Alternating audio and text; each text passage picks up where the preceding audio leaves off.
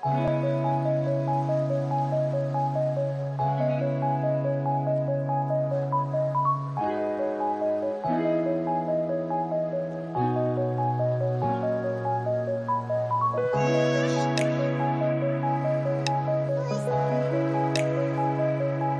yang pertama, saya akan masukkan indikator ke masing-masing.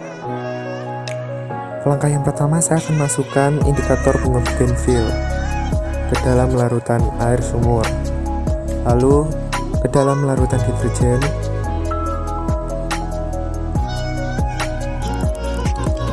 dan ke dalam larutan garam.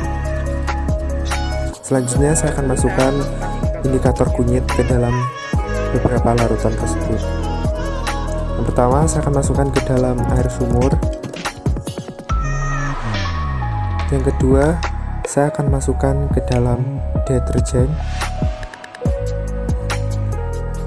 Dan yang ketiga saya masukkan indikator ke dalam larutan garam.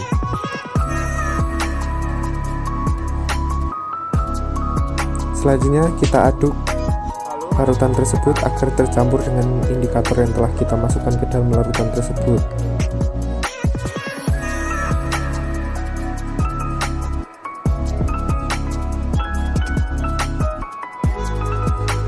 Usahakan aduk dengan merata.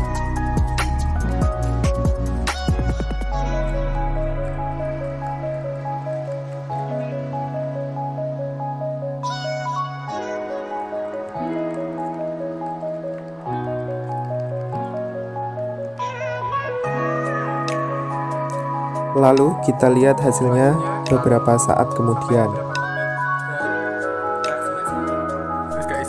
Hasilnya, bunga bougainville asalnya berwarna merah dan akan tetap berwarna merah jika ditambahkan ke dalam air atau larutan cuka asam asetat dan dapat berwarna ungu bila ditambahkan pada larutan basah atau deterjen.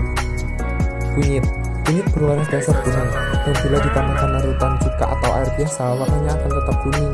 Akan tetapi, larutan kunyit dapat berubah menjadi warna merah jika kedalaman larutan tersebut ditambah larutan basah atau deterjen.